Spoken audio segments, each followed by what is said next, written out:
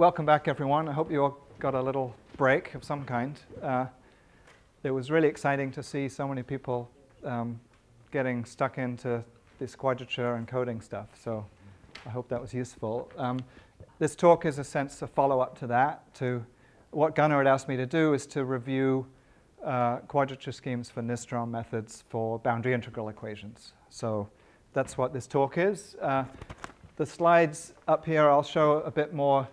This is some of the more researchy stuff later on. Most of, I'll do a chalk talk for the first two-thirds of the talk. So uh, uh, the goal is to sort of, yeah, intro to, to boundary integral equations just with, through via one simple example. And um, Gunnar will sort of say more about this and indeed why boundary integral equations are even interesting. I'll leave to Gunnar's later lecture. Uh, and try and get through seven quadrature schemes and five good ideas uh, for quadratures that are used in for singular quadratures. So uh, singular kernels. So that's kind of the more interesting topic. First, we have to set up boundary integral equations and uh, and deal with smooth kernels first. So that'll go pretty fast. So I'm going to uh, do stop and ask questions. Uh, let me know if you can't hear me or something. Um, okay, well, one, one question you might ask is why high order? Why are we even doing this? Uh, why do we want methods that converge rapidly with n? And uh, one answer Gunnar has already mentioned, but that's that you actually want to get digits uh, for hard problems. And, uh, and what that means is you get increased reliability. And uh, you know, if you have, you, you, you will believe your numerical algorithm if you, you will know that the errors that you get from reality are to do with your modeling errors rather than to do with your numerical solution errors. So uh, another uh, aspect is you can tell uh, if you've converged or not. If you have a low order algorithm, like first order or something, it's very hard to tell if you've even converged for a large problem because you can't run a problem, you know, two or four times bigger to tell that you've, the digits have stopped changing because you don't have enough computer resources for that because you're already running a problem as big as you can do because that's what everyone wants to do. So uh, this is sort of why high order, if you can do high order, you should. So let's set up a boundary value problem again. And, uh, you know, archetype, we're going to deal with interior Laplace. I'll throw in the k squared because, uh, um, because we can then go to Helmholtz if we want to. So we can either deal with uh, interior problems or exterior problems. And uh, there's also radiation conditions, which I'm not going to say much about. Uh, we're in two or three dimensions, let's say, and we have uh, k is 0 is Laplace, k is greater than 0 is Helmholtz. And we have some kind of boundary data, so u is f on the boundary let's say, you know, this is just an example. You can have Neumann impedance and more complicated things for Maxwell and so forth. So, uh, and in general, we're interested in piecewise constant coefficients like this. Here it's just utterly constant, but if it's piecewise, you can break it up into regions and separate them with boundaries and do this boundary integral stuff on each of those boundaries, couple them all together. So uh, Okay, potential theory. Uh, let's just, so I'll just sort of recap. Um, there's a fundamental solution, there's a source point, and it goes to uh, a target point. And it's always going in this direction from y to x. So uh, this is the fundamental solution. Um, it obeys if you hit it with the differential operator, it gives a delta function. Right? This is sort of, and with some radiation condition. So, uh, okay, and, and your mental picture should be, you know, we're in, one classic confusion is that x and y are Cartesian coordinates. They're not. They're both points in two or three dimensional space. So uh, y, x, something like that. Okay, so there was an object appearing in the. That wasn't very good planning. I'll go to this board now. There's an object appearing in, in the tutorial, right, which is the single layer potential. And uh,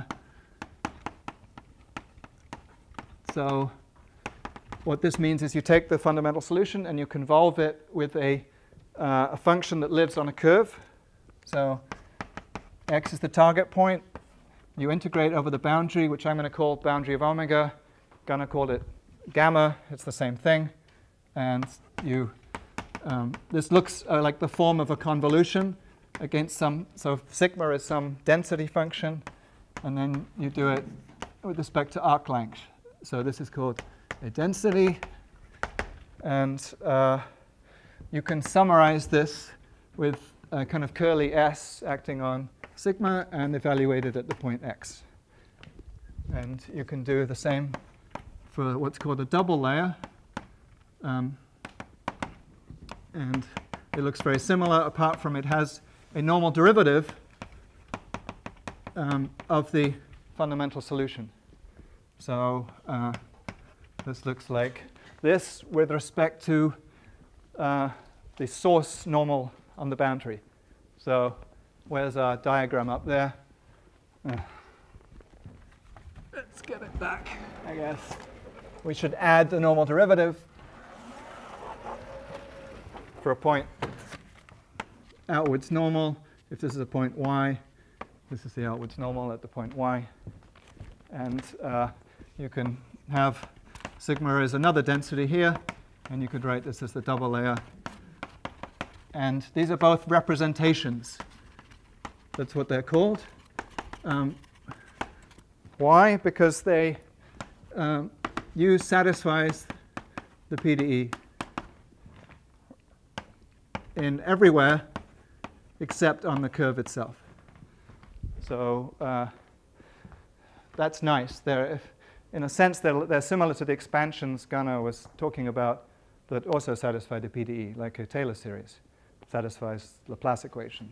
So um, I can show you a picture of that. So I'm going to show you the picture in the Helmholtz case. Um, and they look like this.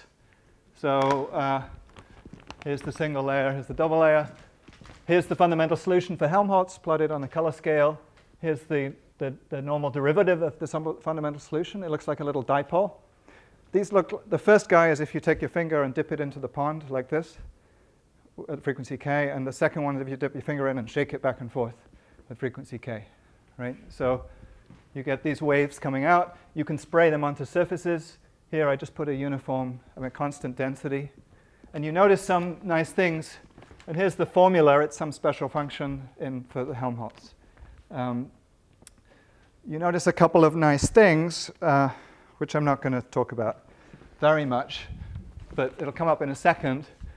Notice that this is blue on both sides and is continuous, and this guy is red, blue on one side and red on the other, and therefore has a jump. So that'll come up in a second. Uh, okay, so we need to parameterize things now, and that's this is kind of crucial. It looks slightly tedious, but you just have to do it, and uh, even in 2D. So what we're going to do is parameterize the boundary by a function z that maps 0 to 2 pi into the boundary.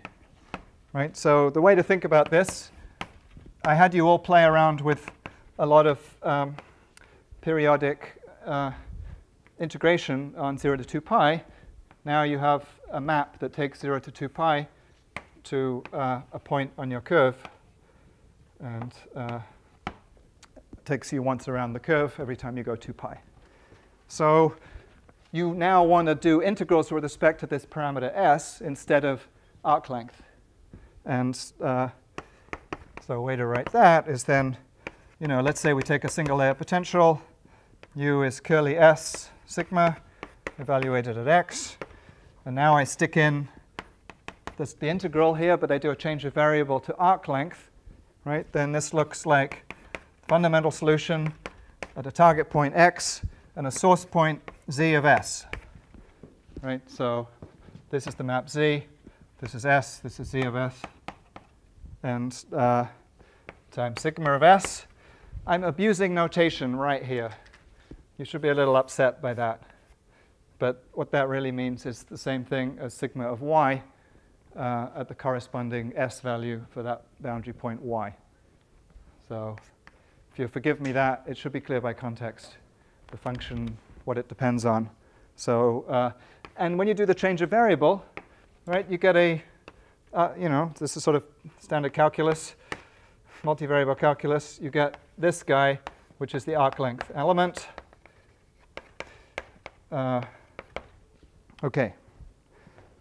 So now we can start doing quadrature, and that's kind of what we did in the tutorial.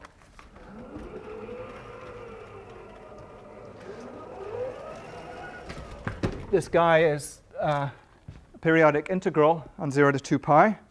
So you can start putting in, you can fix a quadrature rule and uh, for and for 2 pi periodic functions, Sj and Wj, j is 1 to n.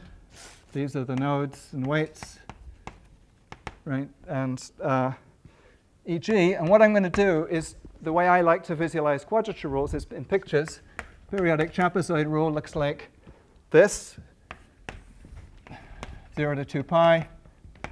Uh, and this is the S parameter. And I'm just going to put a little stick for every uh, quadrature node. And the height of the stick is the, the weight, right? So this guy, you know, this is like Sj. And the height here is Wj.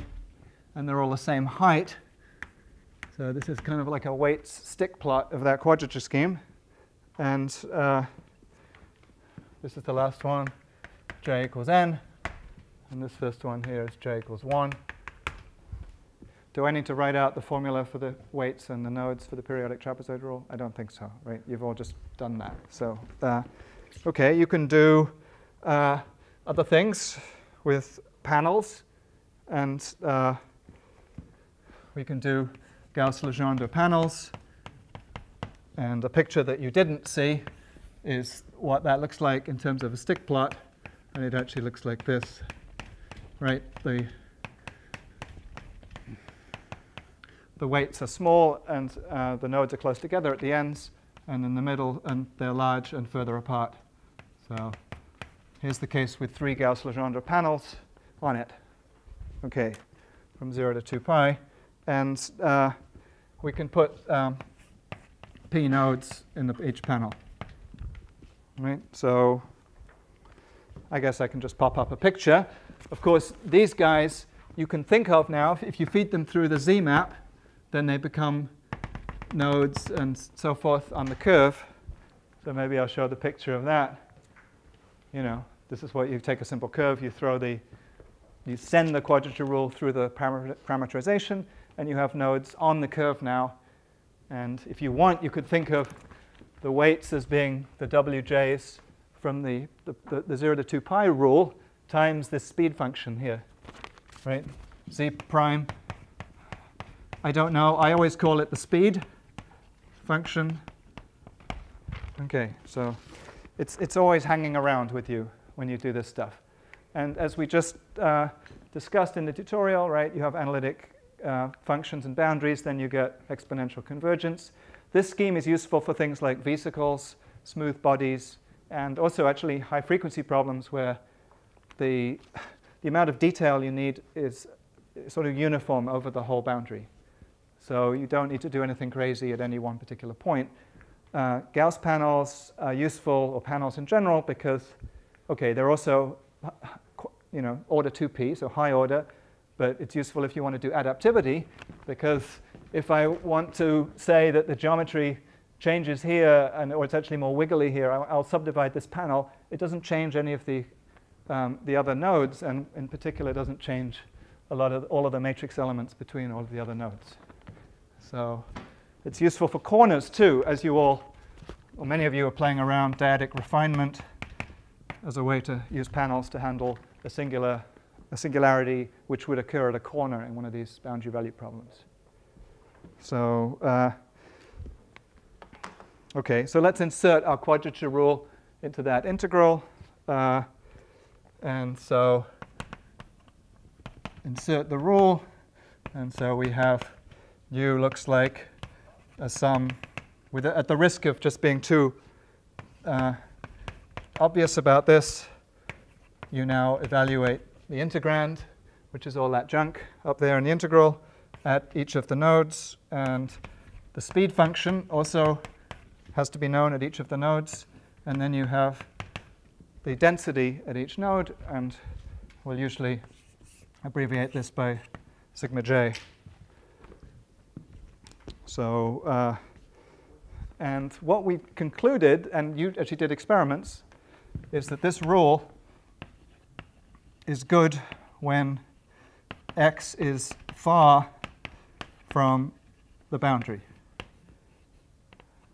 Right, and actually there was a little exercise that on the unit circle or on the real line that, that you, which I haven't seen this discussed that often, but so I call it the 5H rule, which tells you you get 14 digits accuracy if you're more than five uh, grid spacings away from the boundary. And you, you, you showed that using Davis's theorem on trapezoid rule. A similar thing would apply for these Bernstein ellipses on uh, panels. So it's kind of, this is important because this is like, as Gunnar was talking about, like, what is well separated mean? What does it mean for quadrature schemes? Well separated means 5h away from the boundary, where h is the spacing between quadrature points, basically. So that's a useful rule of thumb. So uh, let's write down the jump relation now, which I hinted at with the red and blue. Uh, and then we'll construct a boundary integral equation. So if we're going to do boundary integral equations, we first need what's called the jump relation, which basically tells you you get a different answer in the double layer potential when you approach one side versus the other side. So, uh, so for x on the boundary, um, we have, well, first I'm going to I'm to slip a definition in here at the same time, right? The definition is u plus minus, meaning the limit approaching one side or the other side. Right? So this is the limit as h goes to, well, that was confusing. Let's call it something else. Not h, z. Well, we don't want to use z. what haven't we used recently? Eta. I won't use that. Okay. Of uh, the value of u at x plus or minus eta times the normal at x. Okay, well that guy should probably use the motor for this thing. Um, okay, so if u is a double layer potential with some density sigma, then u plus minus at a boundary point x looks like this it looks like some boundary integral operator, d, which I'll also call d, Roman d, and then with a correction term that looks like uh, plus or minus a half the value of the density at that point. So plus if you're on the outside, minus if you're on the inside.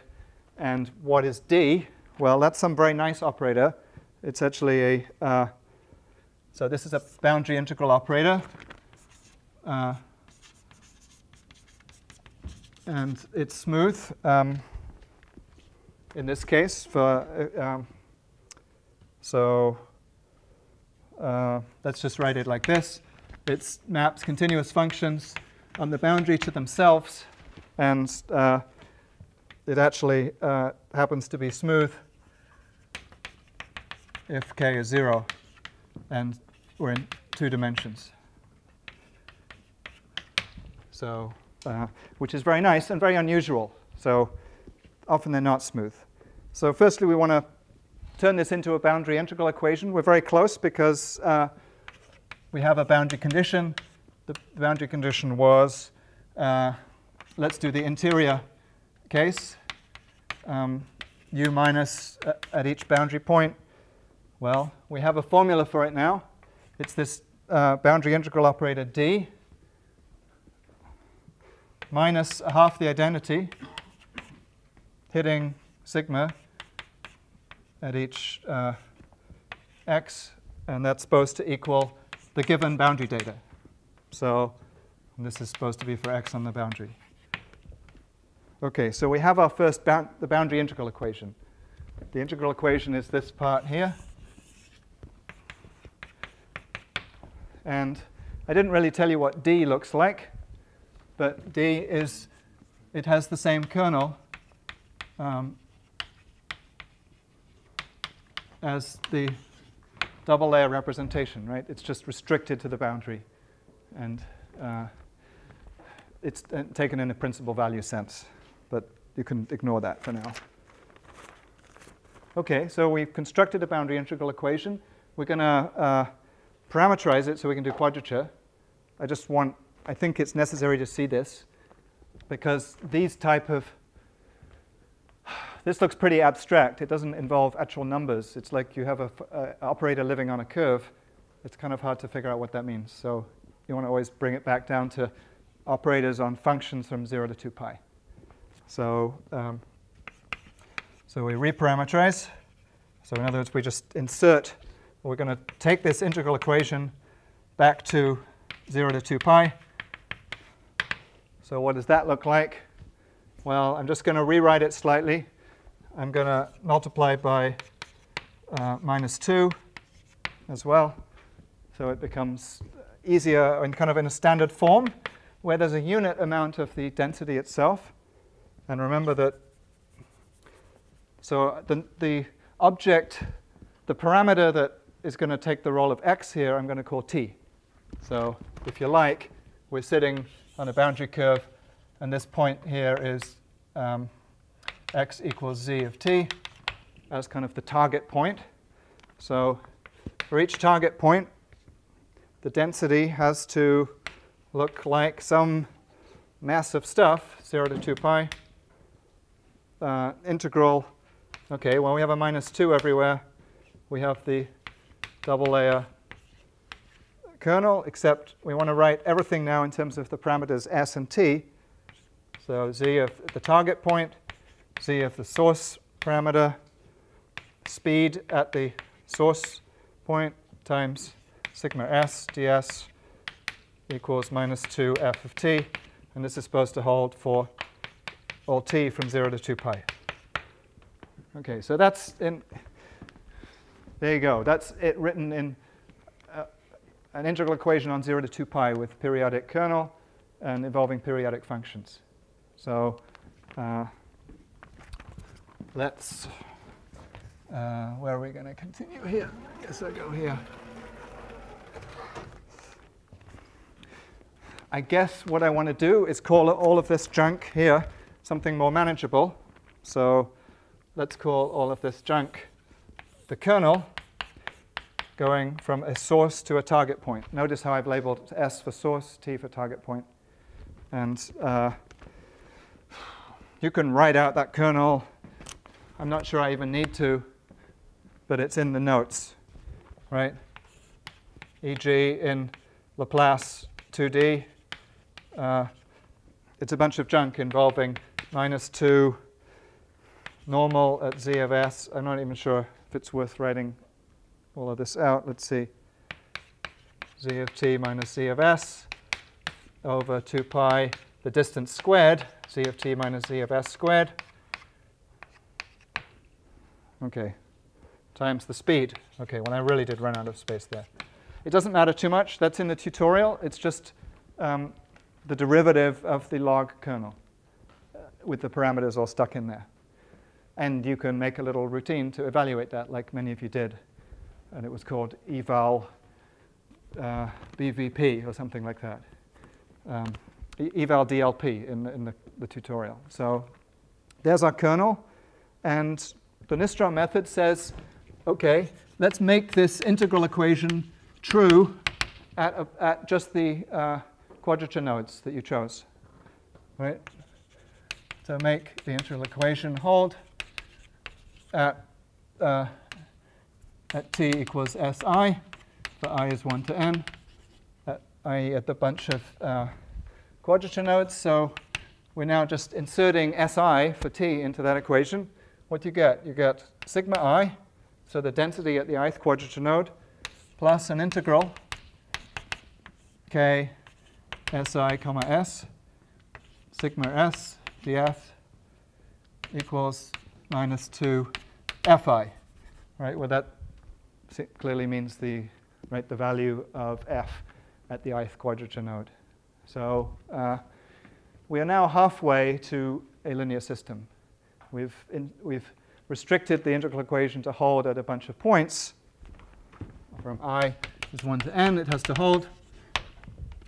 So the rule now is you take this uh, thing here and you make this, you do this with your, uh, with your underlying quadrature method that you chose. j is 1 to uh, n. So you're inserting now the quadrature scheme k of si sj. Notice we're replacing these s's here by the nodes themselves, sj. A weight appears from the quadrature scheme, and we've got the, un the unknown density at the node, uh, the jth node. Okay. And uh, so let's call this guy with the weights thrown in the matrix AIG for the plain Nystrom.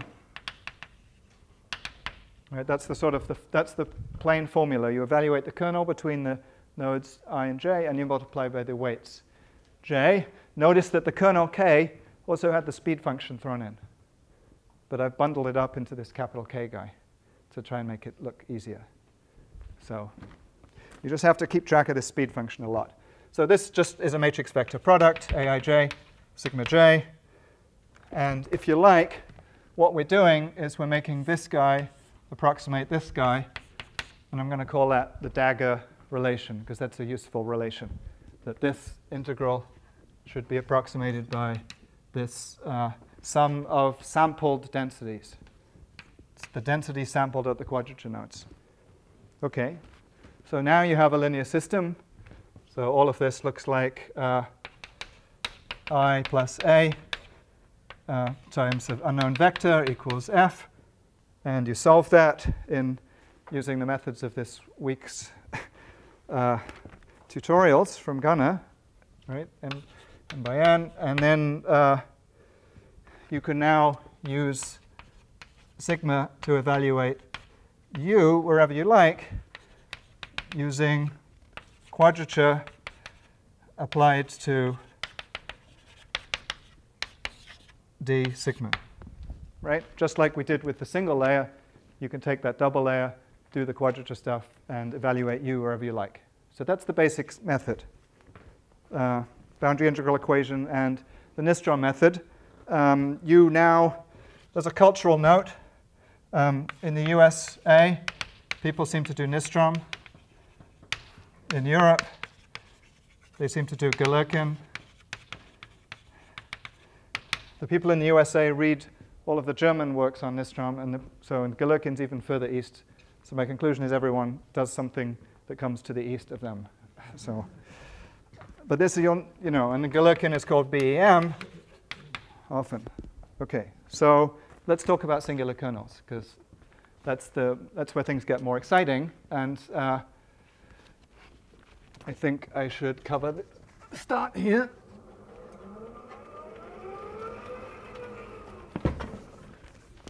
So I think will also make this point, and that's that this quadrat this Nystrom method here, which by the way uh, converges at the same rate, and so there's a bunch of theoretical results as the uh, the rule applied to the integrand, which is k x dot sigma dot. Right? There's a bunch of theory on that. So if you have an exponentially convergent uh, scheme for analytic functions, and you have an analytic uh, kernel, which is what happens if you do Laplace equation in 2D on an analytic curve, and you have analytic data, then everything converges exponentially, and you're laughing. It's very nice. And you get your, you know, you get your 14 digits with 50 boundary points or 100 boundary points.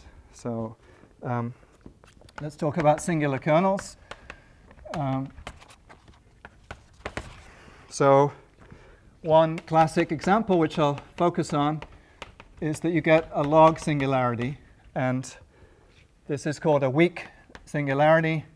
Uh, and it comes up in the Helmholtz equation. So it's pretty important for waves, uh, for instance, in R2. And uh, using this representation, which is called uh, the combined field integral equation, it's a way to solve Helmholtz problems robustly. But if you're going to handle that, there's an S kernel in there, which you already know is logarithmically singular. So you know you're going to get this type of behavior. And the plain rule fails right, pretty convincingly since because the diagonal element is infinity. That's not good. So we have to do something different. And, the, and what you're going to do is you're going to seek a matrix A such that this dagger relation holds.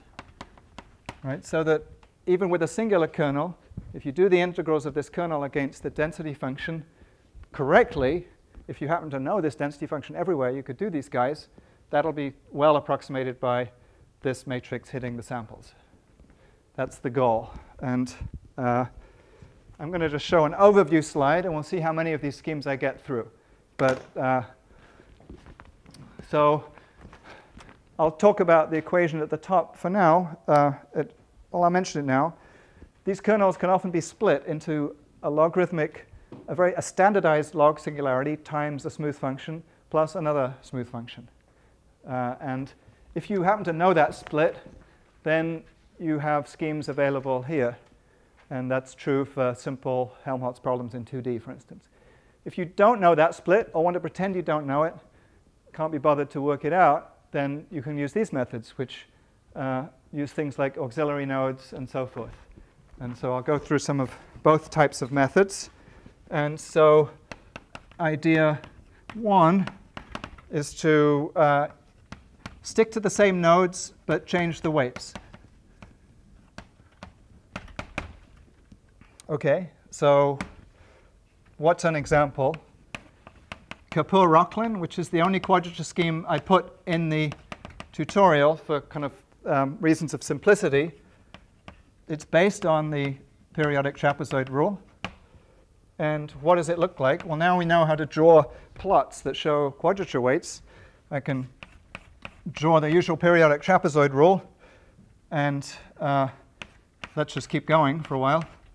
OK, well, that's not very interesting. Now what you do is you, you, go to the point SI. This is 2 pi, right? You go to the point SI, you kill that one, so that goes to 0.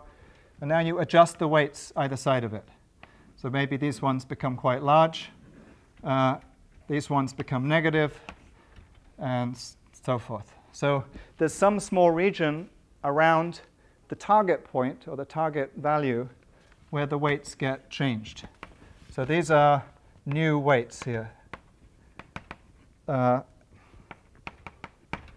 and they're all sitting at the same nodes as before, though, right? I haven't altered any of the locations. It's still the periodic trapezoid nodes. And uh, so these guys are special WJs, which are good for the type of singularity we care about. So something like g of s plus log of uh, si minus s times h of s, where g and h are both smooth, uh, c infinity, or at least high order smooth, and that these weights are good uh, up to um, for errors that converge something like n to the minus 6, for instance. There's several orders of rule available, up to 10th order. Good question. Yes. Does that have any um, consequences for sort of the spectral properties of your? Yes, it has. Like because it's more like a differentiator rather than integrator. There's a reason I put enormous weights here and some negative ones, because both of those things really mess up the spectral properties of the matrix. And that's something that I didn't really understand until I started testing, comparing all of these quadrature schemes against each other.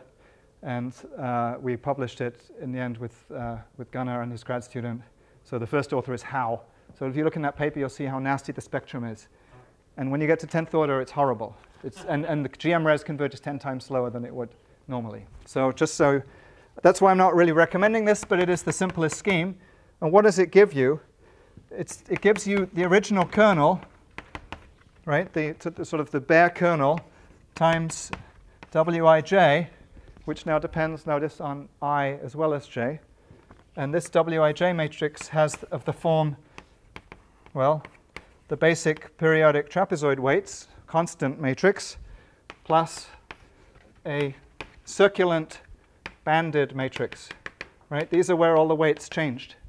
So uh, this is sparse, so it only has order n elements, and it's circulant, meaning that it just it has uh, shifted copies of the same row uh, in all its uh, elements. Okay, so that's Kapur-Rokhlin.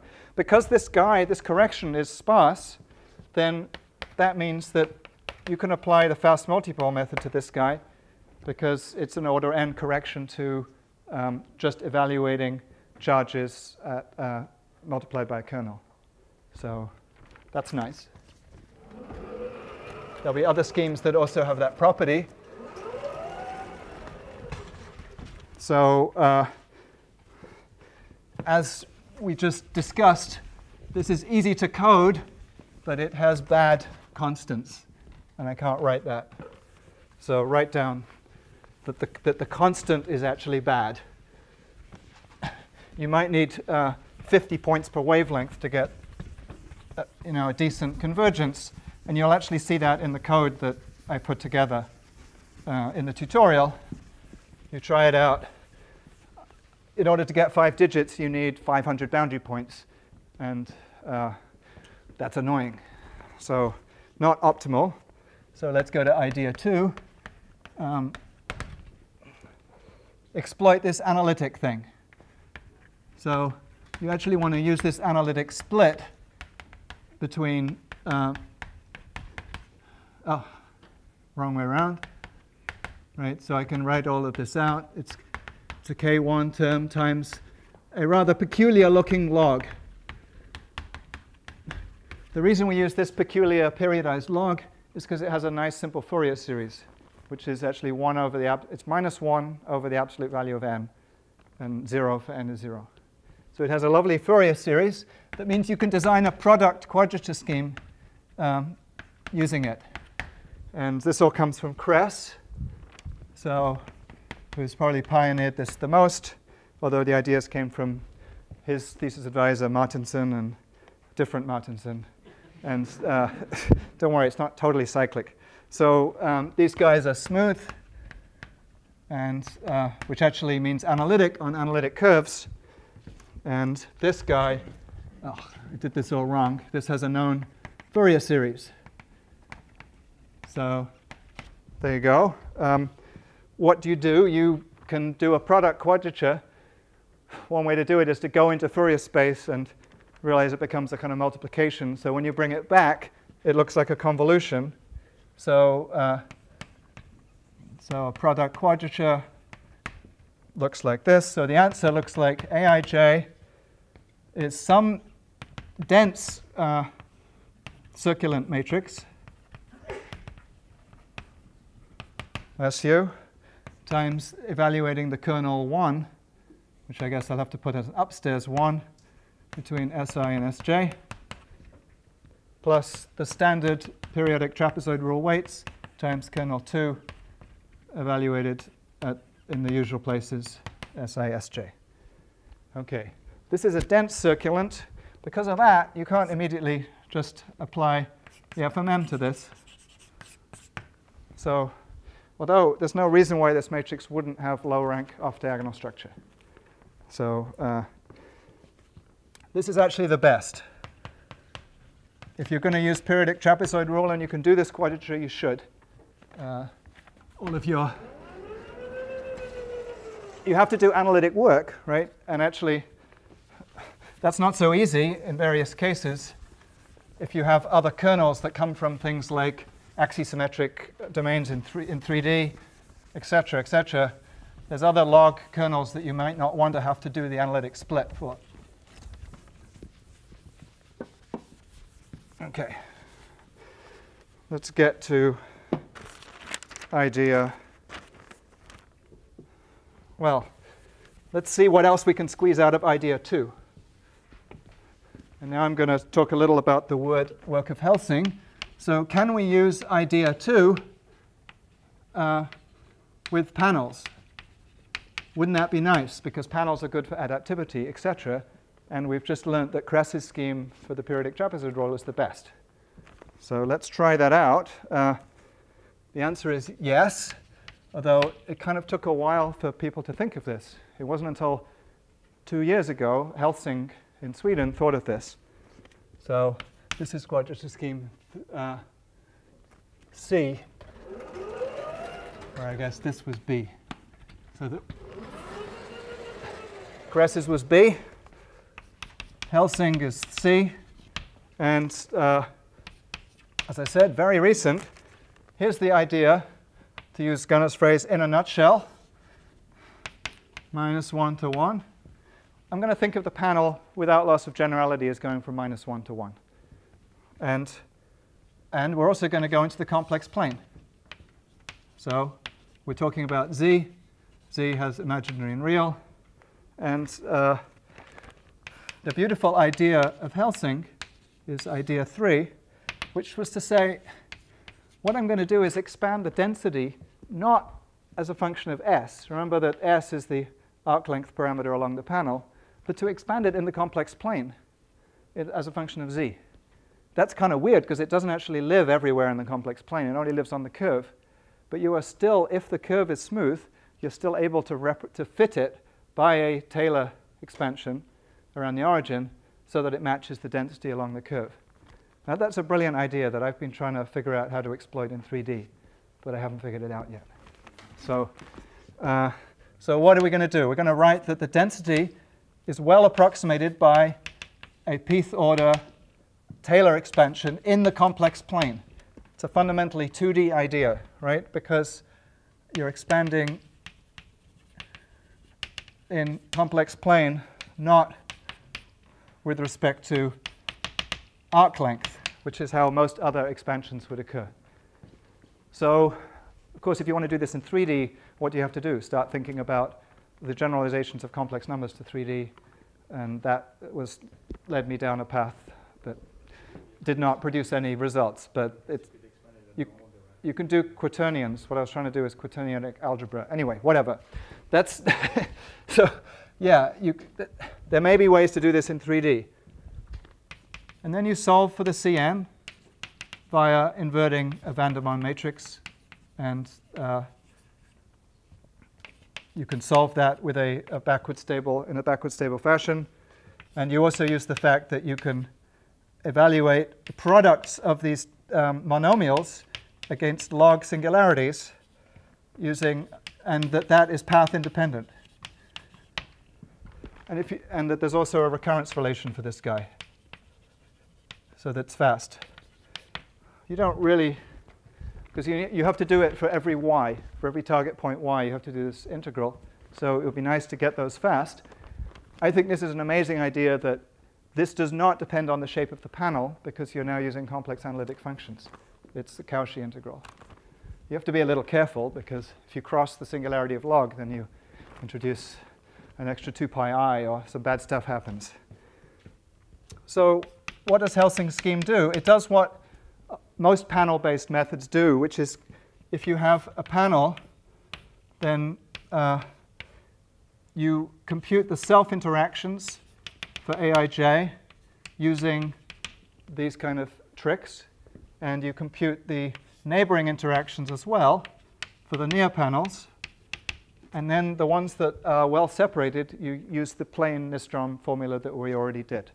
Right? So these guys are uh, far away and they use the plain formula. So you now have a structure that where the matrix is the same as the plain Nystrom matrix, except in a bunch of blocks that, um, oh, didn't draw that one, that are like, there's involves ON matrix elements, sort of tridiagonal block structure, right? All of these guys, it's ON, and this is the plain rule out here. And I guess we should have boxes in the corner. Right? So that's the structure for panel quadratures when you have these special rules for the nearby singularities, and you can use the plain rule for the faraway sing singularities. You're all, now you've all done the tutorial, you're probably all okay with the idea that I can have a, a, a kernel function, right, which has a singularity over here, and because it's more than one panel distance away from this panel, then it's the Bernstein ellipse for this panel is, you know, is, means that when you dial up the order of the panel to p of 16 or so, you get machine precision when the singularity is this far away. So that's why you can do this split between uh, what this kind of local correction involving the nearby panels, and then the other stuff is just uh, doing, done using the fast multipole if you want, but done with the plain Nystrom rule. So, okay. Are we going to get to some other ideas? I'm going to introduce one more idea. I don't even know if I'm going to get to show you that many pictures. It'll go fast in the last few minutes, and I'm probably going to overrun by 10 minutes, if you'll forgive me. But uh, actually, I probably don't need this one. Let's do this one first. Ugh, front, back. You can tell I actually never use the, the, the switches.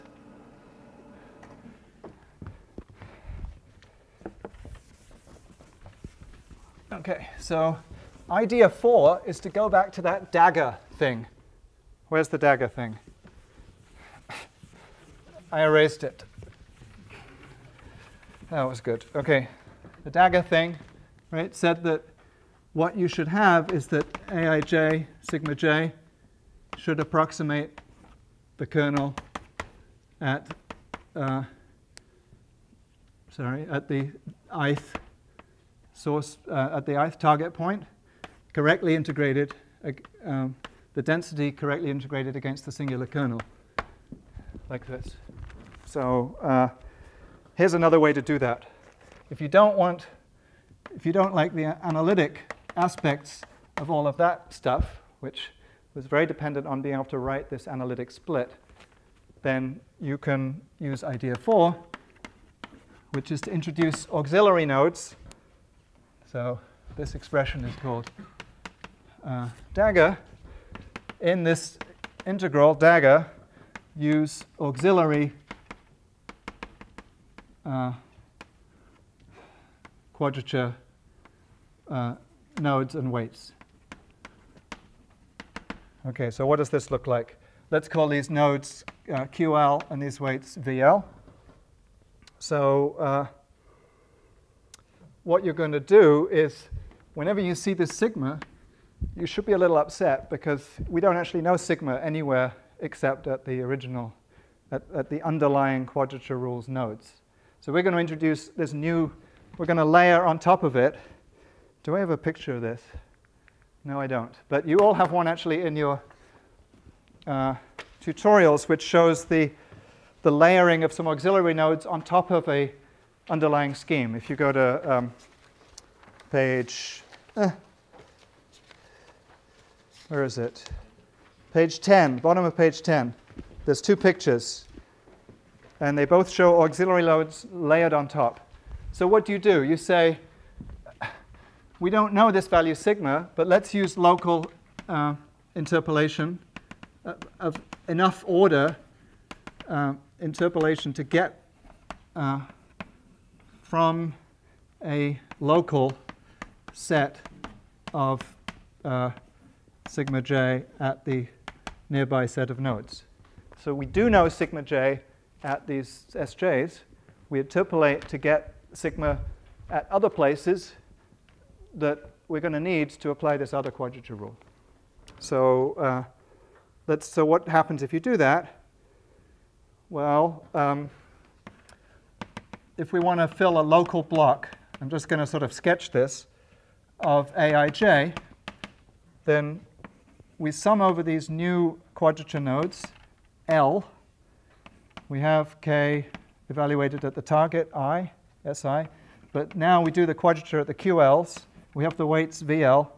And then we have some Lagrange basis that it does the interpolation from the nodes J and uh, onto the uh, new locations QL.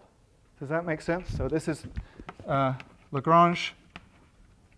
Um, and if you, have, if you look at this, it actually has the structure of a little matrix-matrix multiplication. So this thing kind of looks like this, where this is, um, well, L goes from 1 to capital L. This is L. And this thing here is uh, P, let's say, and this is P. So if you're going to compute a little P by P block of A, it'll involve a little matrix vector multiplication there. You have to go around evaluating the kernel now at, let's say, 20 new nodes. So capital L is something like 20. So there's two ways to exploit this. I'm going to, well, this will go quickly. One was due to Alpert for the periodic trapezoid rule. And if we sketch the periodic trapezoid rule and then throw in some auxiliary nodes here, then it only affects a narrow band of the matrix. And you use this idea to correct a narrow band of the matrix. And if you want to do it with panels, that's called generalized Gaussian. And it's another word for this type of uh, auxiliary node quadrature. And that's due to Kolm and Rokhlin. And basically, a lot of, rock, a lot of papers from Rokhlin in the 90s um, figuring out how to construct special quadratures. Because what I didn't really say is that these auxiliary nodes and weights are special uh, for the singularity, right? But you, you, you pre-compute a bunch of them uh, based on the type of singularity you expect on, on the, but you, but, every but the panels are all different curvatures and have different geometries. And that's handled by the fact that you're evaluating the kernel on the actual nodes on the, each new panel each time. So you have to do a bunch more kernel evaluations, but it's still on ORN correction. It's still FMM compatible, and you're OK. So this is a, uh, a nice scheme. And what can I say? other than introduce idea five and then show you some nice slides about idea five. So idea five won't take much space. So idea five is to go back to the PDE. That's why I introduced the PDE in the first place. So, um, and I'm going to call it PDE-based close evaluation. So you'll notice in your tutorial, right, that it was bad if you took a, a curve gamma and you took the target point x and you make the thing approach the boundary. That's a hard problem. So uh, if you can do that, you can do this, which is to realize that the Nystrom matrix, including its uh, jump relation identity term, is given by the boundary limit of the potential so this is the way I like to see it. It's going to be slightly abstracted. Evaluated at the ith uh, boundary node, so that's z of Si, when that potential is generated by a density given by the jth Lagrange basis function in some local interpolation scheme from the, the quadrature nodes. And what you do is then so remember, recall this thing is the limit of the potential. So this idea goes back to the PDE and says, if you know how to, you have a density on a curve, you know its value at a bunch of quadrature nodes, and if you now know how to take the limit of accurately evaluating that density back on those quadrature nodes, approaching from the correct side, corresponding to which boundary condition you want, then that tells you how to fill matrix elements. I mean, I'm not giving the full formula for A here, but you could imagine there are each, these guys, the Lagrange basis functions have, uh, you have to do this for each J, um, each source point on the curve in, let's say, in one of the panels. That generates a Lagrange basis. And if you could somehow evaluate that limit of the density, of, of the potential generated by that density in the representation, you know, using u equals d sigma or whatever you want, in this case, that's what it would be, then you are actually filling the matrix elements. So I'll now transition to slides and show you a little bit about that. And uh, I think we've got, so this method is method F, which is called QBX. And I guess it's coming out of, um, well, I'll show, yeah, I'll show you in the slides instead. It's something I've been heavily involved in. So, so uh, here we have the double layer potential. I'm going to use the same trick as Gunnar did, represented as the real part of a Cauchy integral. And uh, I'm just going to remind you about this close evaluation problem. This is the error plot, like you all saw in the tutorial. And if, if you watch the convergence at a boundary point, you all made a plot like this. Um, the convergence rate gets arbitrarily bad as you approach the boundary. In fact, and I'd never seen this analyzed, so this is in my uh, SISC paper that's coming out this year, but you know, it's, it's SIAM journal, so I did the work a year and a half ago. Um, and it tells you that if you use, if you want to know the convergence rate, it's actually the, the inverse map of the, the, the boundary parameterization, which says take this point and then take it back to, the, to that S plot and see how far above the line 0 to 2 pi it lies, how far above the real axis. That tells you the convergence rate. Okay. That's just a little by the by. So QBX is the kind of uh, quadrature scheme that's built on this. Um, so it's coming out of my work on close evaluation. And then essentially Leslie said to me, uh, you realize this would be a really good quadrature scheme in 3D. And I was like, oh yeah, of course, of course. I was like, oh, I should have thought of that. So, uh, so but between us all, um, with Andreas, the first author in this paper on 2D, and Mike O'Neill is here as well, we sort of have done a, a good job of testing this in 2D. So the idea is that, okay, our density and the derived potential, V is just the complex part of U, if you like. It's the thing whose real part is U. If they're both analytic, then you can extend V analytically some distance outside the domain. So into the non-physical part of the, uh, of the, the boundary value problem. And that means that a Taylor series will converge right up to the boundary, even beyond the boundary you're sort of doing a little bit of uh, uh, ill-conditioned sort of analytic continuation beyond the boundary. So we do a Taylor expansion. Here's a demo of that. If I go to this point here and do a Taylor expansion, um, this is the error plot of the naive trapezoid rule. But if I do a Taylor expansion around this point and get the coefficients right, then the Taylor expansion converges to 12 digits right up to the boundary. So that's a nice, uh, okay. But, and the rate of convergence will depend on the nearest singularity, but the nearest singularity is somewhere out here, some distance beyond the boundary, if the data is analytic. Now, real data is not always analytic, but it's locally smooth and high order, and you get similar behavior to analytic functions. So what do you do? You pick a center that's some distance, about two and a half h from the boundary.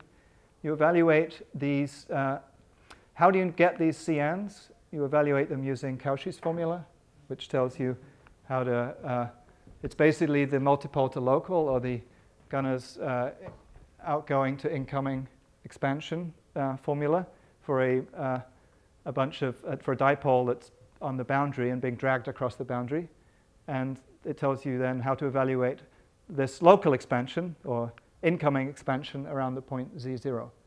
So this ties in very nicely to like a lot of the fast multipole ideas, and that's why we've uh, worked with Leslie, we've, we've run with it.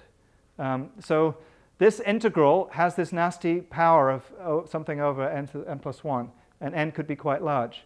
So to get that, you need to do this integral using some refined nodes. So we actually refine the number of nodes. This is like auxiliary nodes, again, and we interpolate uh, sigma onto those refined nodes to do this integral. However, that doesn't, one, if you're going to take away one key thing about this auxiliary nodes idea is that it doesn't introduce new degrees of freedom. The degrees of freedom still live. The things that the linear system solves still live on the original nodes. All of this is just local interpolation to actually compute the matrix elements.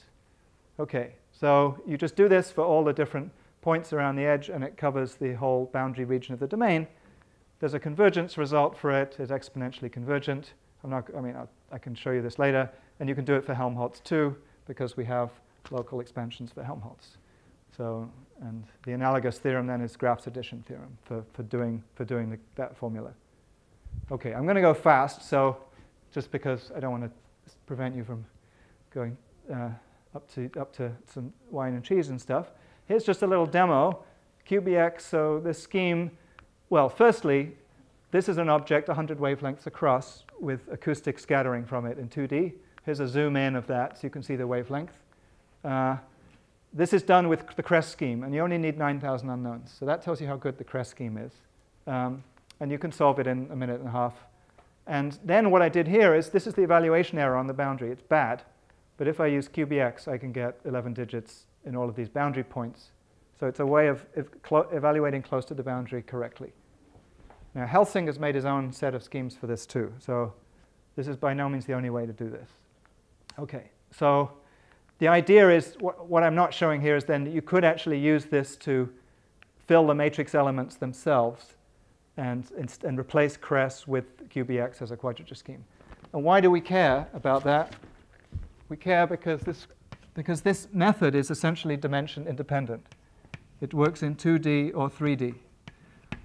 If you know how to write down the local expansion and the addition formula for your, for your special functions, for your PDE, then you can do QBX and not have to deal with the nasty singular quadratures in 3D. So uh, maybe this is a too subtle point to mention now, but basically, you, well, it's, it came up in some of our tutorial things. If you use panels and you only do uh, any correction scheme for the near, nearby panels, then you have an epsilon that doesn't go away in the convergence here. It's order h to the p plus epsilon. And epsilon is controlled by the order of the panels. For those of us that were talking about dyadic refinement and why it didn't converge sometimes, that's because p wasn't high enough. So it's not for, you, this pushes p to be large, like 10 or something. Um, Leslie had the idea of using uh, global QBX, which means that you throw in all of the contributions in a fast multipole method to the QBX expansion, and then you don't have this epsilon. And then you can use a lower order scheme, which is probably more realistic in 3D. Okay, so why, and we really care about 3D. Here's a picture of it in 3D.